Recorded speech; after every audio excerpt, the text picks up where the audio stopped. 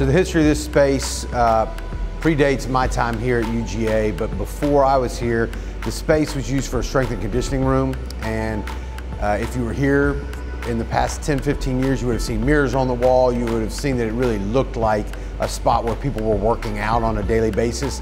Since then, we transformed it into a donor uh, entertainment spot where we can host donors uh, for pregame and halftime hospitality uh, for men's and women's basketball games. Well, I think anytime you're entertaining donors, you want the space to have as first class a look as possible. Uh, and prior to this renovation, it really still had a feel of a workout room and it really just had makeup on it. And so we really wanted to take the opportunity uh, and get creative and try to transform it into a spot that was more representative uh, to entertain donors. Well, I think first off, uh, if you're able to see the room previously, it was a very dark room. Uh, it felt like a dungeon, uh, and so I think our first priority was to lighten up the space. Uh, and as you'll see, it, it's there's been a phenomenal job doing that.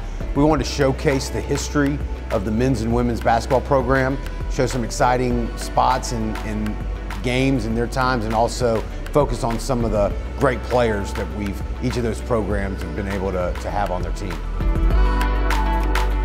First off, last night was the first time some of these folks have been able to see it, and uh, it really was a wow factor. I think the individuals that were in attendance last night were impressed. We received a ton of compliments, and I think that just reinforced what our vision was from the very beginning as we looked to renovate this space. We wanted, once again, to have that wow factor. Uh, it's very important when you're dealing with donors and, and those individuals that are investing in your program that they feel like they're treated in a first class manner, so they trust that you're using their funds in that first class manner. Well, we've had a great experience with SB Creative uh, in the past couple years.